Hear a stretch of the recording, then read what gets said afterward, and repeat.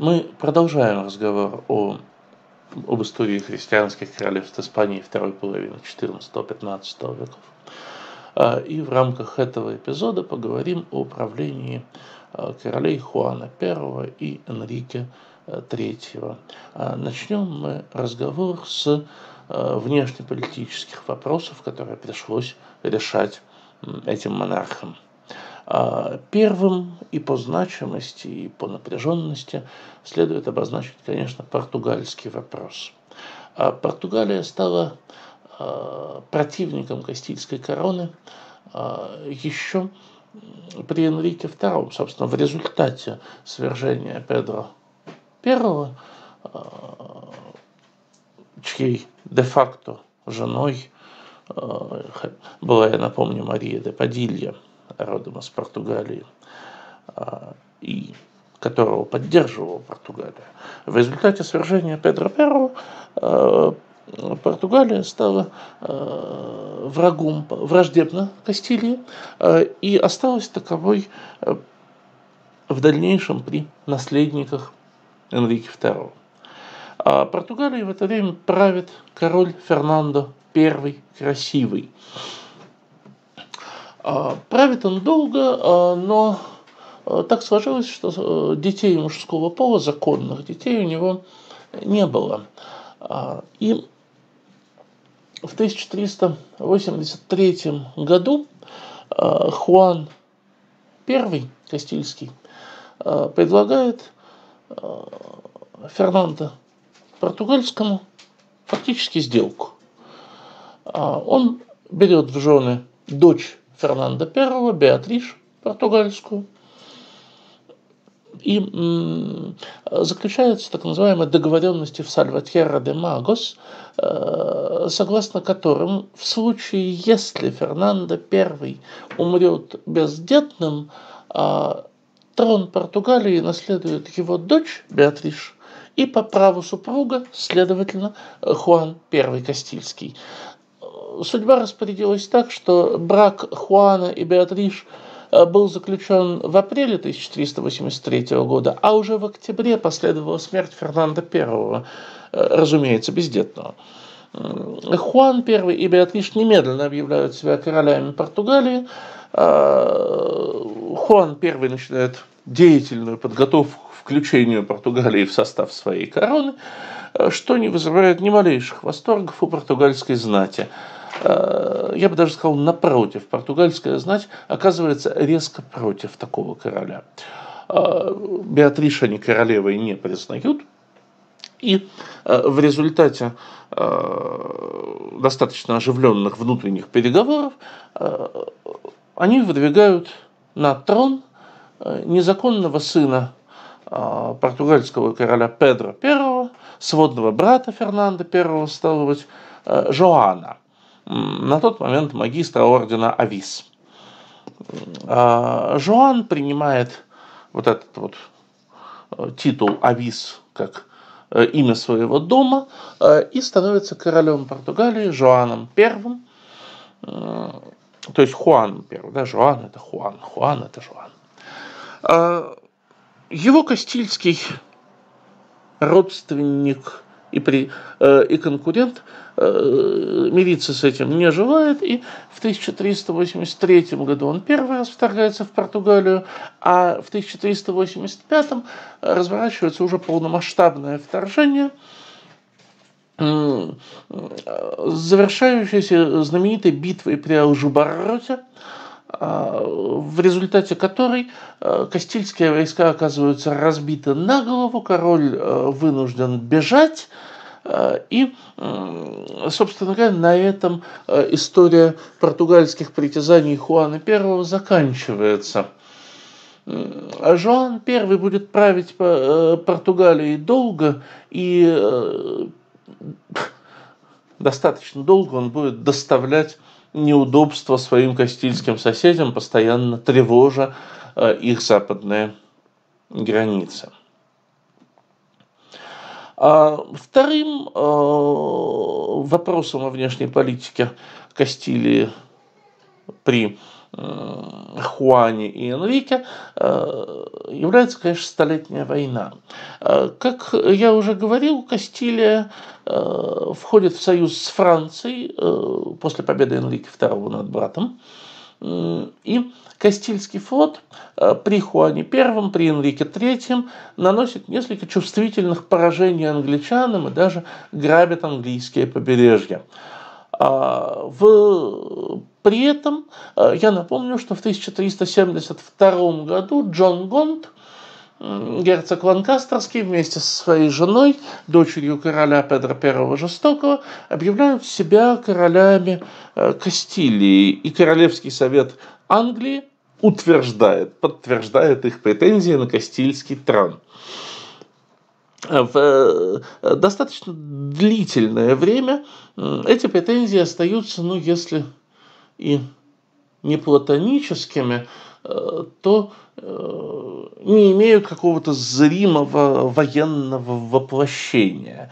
Так, происход... Так дела обстоят до 1386 года, когда Жоан I Авис, португальский, разбив Хуана Кастильского в битве при Алжубарроте, заключает Виндзорское соглашение с Джоном Гонтом и предоставляет возможность для высадки британского контингента в Галисии, обещая Джону Гонту поддержку, военную поддержку и ресурсную, разумеется. Кастильская корона оказывается под серьезной угрозой. С одной стороны им грозит э, португальский король, с другой стороны высаживается герцог Ланкастерса э, с женой и с войсками. В Кастилии король срочно собирает Кортесы в Бревьеске. Это одни из самых знаменитых кортесов XIV века, в ходе которых принято уложение законов в Бревьеске, о которых надо говорить отдельно, конечно, вот, на которых, на этих кортесах Хуан I произносит длинную прочувствованную речь, обосновывающую его права на престол, его легитимность как кастильского монарха. Э, Кортесы поддерживают э, Хуана I, дают ему э, ассигнование на войну с вторгнувшимися англичанами. В результате в 1388 году Хуану I удается, во-первых, остановить продвижение Джона Гонт, во-вторых, выбить его из Галисии, и в итоге в 1388 году в городе Байонна при французском посредничестве э, заключается соглашение между герцогом Ланкастер э, и Хуаном I. В рамках этого соглашения дочь Джона Гонта, Каталина Ланкастер, эм, Э, отдается в жены наследнику э, Кастильского трона принцу Энрике, э, будущему Энрике III. А, и со своей стороны Хуан I делает еще один шаг, скрепляя этот возникший Э, союз, он учреждает титул принцев астурийских. Э, вот с тех пор, с 1488 года и до сегодняшнего дня наследник э, испанского трона всегда носит титул принца де Астуриас, принца астурийского. Собственно, это не снимает напряженности в отношениях Кастилии и Португалии. Это не делает друзьями Кастилию и Англию, больше того. Но э, на тот момент это оказывается серьезной тактической победой Хуана I, позволяющей ему э, развязывающему руки, позволяющей ему э, избавиться, по крайней мере, от одного театра военных действий, да, позволяющий сосредоточиться непосредственно на Э, противостоянии Жоану португальскому. А, наконец, третьим а, направлением внешней политики, актуализировавшимся уже в правлении Энрике III болезненного или Энрике III страдающего, да, он отличался сильным характером, умом и властной волей, но при этом, к сожалению, слабым здоровьем. Третьим направлением внешней политики становится война с маврами, мусульманский фронт, если угодно. А, прежде всего, в 1400 году Кастильский флот совершает удачный рейд на Тетуан. Тетуан на северном побережье Африки на тот момент является одной из самых крупных пиратских баз, всецело поддерживаемых мусульманскими правителями Африки, поскольку грабят они в основном э, христианские суда. Э, Тетуан разгромлен и сожжен, пиратский флот, э, если и не уничтожен, то получил, понес очень серьезные потери в том сражении. В 1402 году Энрике III дает свою королевскую санкцию и деньги, собственно, дает французскому авантюристу наемнику Жану де Бетанкуру, э, который собирает экспедицию для э, отвоевания Канарских островов. Так начинается колонизация Канар испанской короной. А параллельно с этим Энрике III готовит возобновление войны против Гранадского Эмирата. А в 1406 году Э, он наносит э, гранадским маврам чувствительное поражение в битве при Колье-Харес, планируя планирует, собственно говоря, следующие операции, э, разворачивать. Э, планирует разворачивать полномасштабную войну против Гранады, э, но э, здоровье подводит короля, и он умирает в том же 1406 году, оставляя продолжение развития гранадского вопроса своим преемникам. А говоря о внутренних делах Кастилии в этот период. А, Хуан I проводит довольно серьезную, ряд довольно серьезных реформ, а, которые потом поддерживает и э, развивает Энрике III. А, по французскому образцу при Кастильском дворе утверждается должность коннетабля, кондестабля де Кастилья в 1382 году. Одна из э, важнейших придворных должностей, она вообще-то замысливается как должность такого военного лидера, да, военного вождя Кастилии, верховного э, главнокомандующего, ну, под королем, разумеется.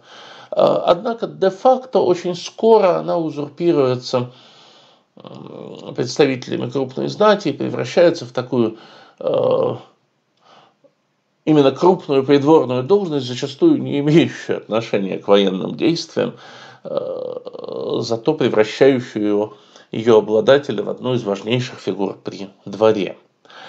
А в 1385 году Хуан I создает Совет Кастилии, Consejo de Castilla. В него входят 12 человек. Изначально он комплектуется, вы видите, да, по э, сословному принципу. 4 прилата, 4 э, Нобеля и 4 Летрадо. И э, первые 2-3 э, года, э, собственно, 2 года, да, до 1387 полномочия Совета еще четко не определены, границы его юрисдикции не выявлены, он пока еще не действует в полную силу. На Кортесах в Бревьеске определяется и прописывается Э, сфера полномочий э, Совета Кастилии. Выделяется три типа дел. Те дела, которые король может э, разрешать самостоятельно, без участия Совета, крайне небольшой спектр, да, незначительные пожалования и помилование, собственно, сюда же входит королевские помилования. А, то есть важно, но э, достаточно узкий спектр. А, еще один спектр дел, э, который король э, решает вместе с советом, который совет не может решить без участия короля. Это крупное земельное пожалование, формирование экспедиций военных и еще ряд вопросов. И, наконец, Э, создается сфера исключительной юрисдикции Совета. А, это э, вопросы, которые Совет может решать, даже не обращаясь к королю и издавая указы и э, постановления от имени короля. Кортесы, собственно, представители Кортесов да, употребляют все свое влияние на то, чтобы эта сфера была наиболее широкой. Сюда входит Э, объявление войны, заключение мира. Э, сюда входит основание новых городов э, и заселение новых областей. Сюда входит еще целый ряд жизненно важных для королевства вопросов. То есть Совет Кастилии становится одним из центральных органов управления королевства и остается таковым уже вплоть до королей католиков и дальше э, старших Габсбургов. Здесь э, стоит обратить еще одно внимание, что уже при э, последующих правителях, при Хуане II, если быть более точным, состав совета несколько меняется, там появляется гораздо больше вот этих вот летрадо, Э, меньше знати и гораздо больше литрадо. В 1490 году э, отдельно издается э, постановление о должности председателя Совета и определяются его должностные полномочия. Председателем традиционно становится прилад-президент, один из прилатов, входящих в состав. А в 96 году э, завершается, ну, как завершается, делается еще один серьезный шаг в реформе коррехидоров, начатой, я напомню, Альфонсо XI. Э, коррехидоры приобретают постоянный характер, э, и их предписано направлять Э, как минимум во все города, имеющие право представительства на Кортосах, то есть во все 17 городов да, крупнейших. На деле э, это постановление не исполняется, э, поскольку его, его исполнение требует, конечно, сильной королевской воли. Энрике III делает все, что может, но, повторюсь, он умирает очень рано, а его сын принимает трон э, совсем малолетним. Да и затем, собственно, Хуан II, Хуана II сложно отнести к числу сильных монархов Кастилии. Поэтому реально институт коррехидоров и затем э, губернаторов и королевских ассистентов э, начинает работать уже при королях-католиках, при Фернандо и Изабелле. Энрике II еще, я напомню, да, учреждает королевскую аудиенцию, э, суд, э, в котором э, выслушиваются дела, причем выслушиваются не профессиональными судьями, а так называемыми оидорами, да, опять-таки прилаты и летрадос, юристы университетские, специально собирающиеся трижды в неделю, чтобы слушать вот эти вот дела. А, при э, Энрике III закрепляется место пребывания аудиенции, ей, э, этим местом становится Вальедолит. Эм, это останется в силе э, на протяжении всего 15 века, и уже потом, после взятия Гранады Фернандо Арагонским, появится вторая аудиенция, так называемая Южная аудиенция королевства, которая будет размещаться как раз в Гранаде. А, наконец, э, в правлении Хуана I Энрике Третьего стоит отметить резкое снижение влияния королевских родственников. А, собственно, в историографии говорят даже о э, Каида, да, о падении королевской родни. Король оказывается э, окружен уже не родственниками, но прежде всего представителями новой служивой аристократии.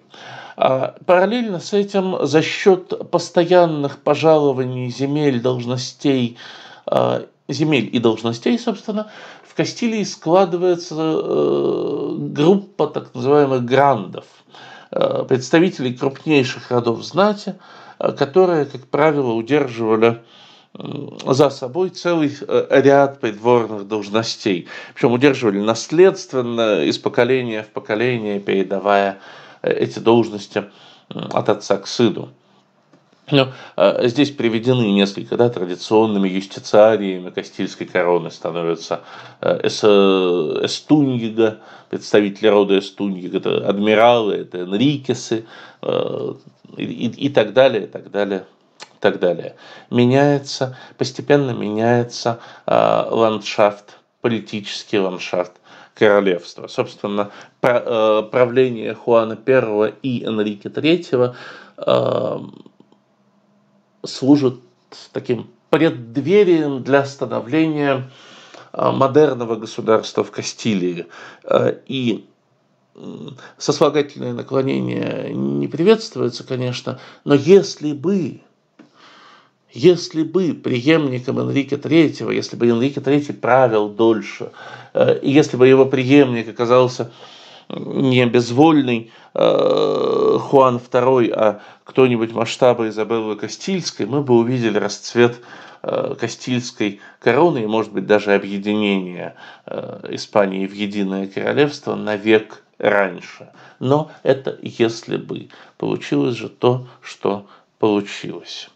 Спасибо.